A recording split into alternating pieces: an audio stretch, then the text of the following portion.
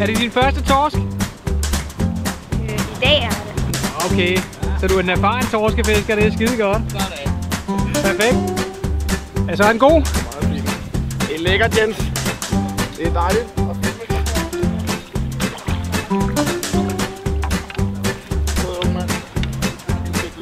Tak. Se hvad du har der.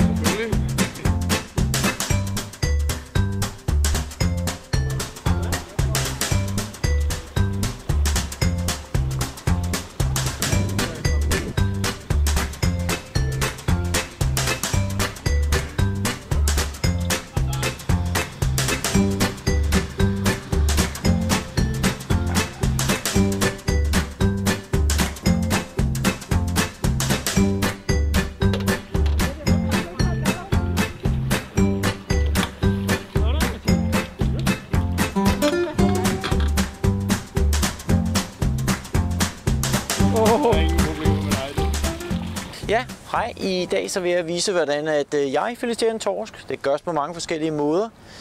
Og øh, vi er på Øresund i dag. Og øh, her har vi så torsken, vi lige skal filetere. Vi starter lige med at rense den en gang. Det gør jeg sådan her. Jeg lægger snittet op langs her, langs hovedet, sådan her. Kommer jeg ned bag det her. Der er et lille ben, der sidder der. Så sidder der et lille ben til derinde bagved. Den kommer jeg lige ned ind bagved. Sådan her. Tværs over. Så gør jeg det samme fra den anden side. Op igennem her. Ud der. Og så brækker jeg den over her. Sådan her. Trækker det hele ud, så kommer alting med ud. På en gang. Så tager man fat hernede. Og vi er i gang. Vi er klar til at filetere vores fisk.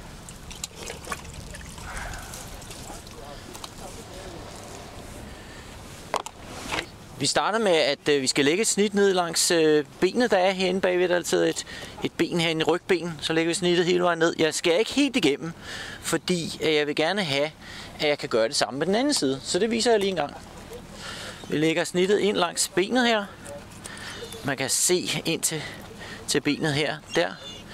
Og så når jeg kommer ned et, et vist stykke hernede af, skærer jeg igennem. Sådan, så lader jeg det blive på. Jeg skærer det ikke helt af, fordi så er det nemmere at gøre det fra den anden side. Sådan her. Og nu er vi nået så langt, at jeg kan skære helt igennem. Det der på højkant.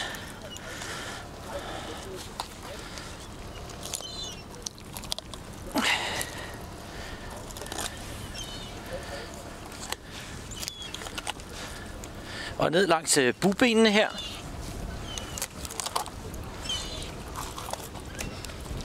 Og vi kan gøre det fra den anden side også.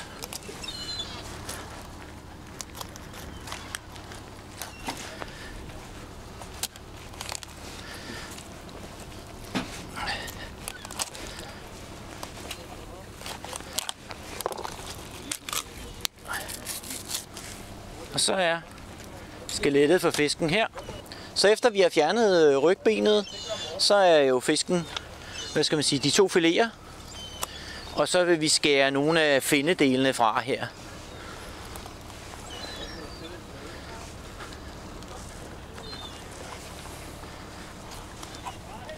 Ud til mågerne, sådan der. Så vil der sidde nogle øh, små stykker ben fra bugstykket der, kan man skære bort. Det ser det fint ud.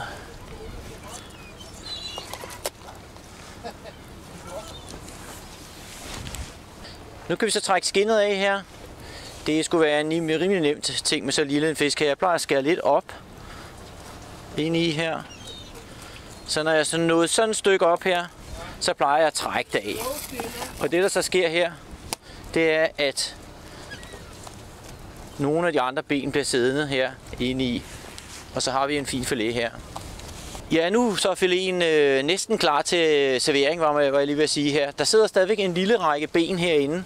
Man kan mærke den med sine fingre, hvis man, øh, hvis man lige mærker efter. Den kan man nemt skære bort ved at lige skære her en lille trekant bort der. Og så er torsken fuldstændig fri for ben her.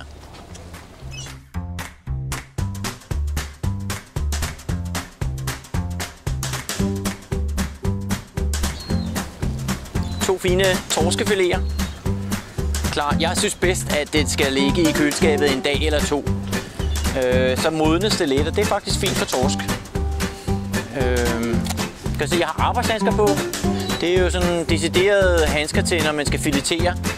Og øh, det er ikke fordi, jeg er piget, men øh, når det er koldt, så kan man hurtigt komme til at, at, at snitte sig selv lidt, og det her, det tager det værste af det. Den er da fin. Den er så fin. Flot fisk, Jim. Ja, flot. Den er fyldt med krabber. To orange gift. Perfekt. Perfekt fisk. Den nappede en lille, hvad var det, 40 gram stik nappede? Nej, det er 30 gram. 30 gram, ja.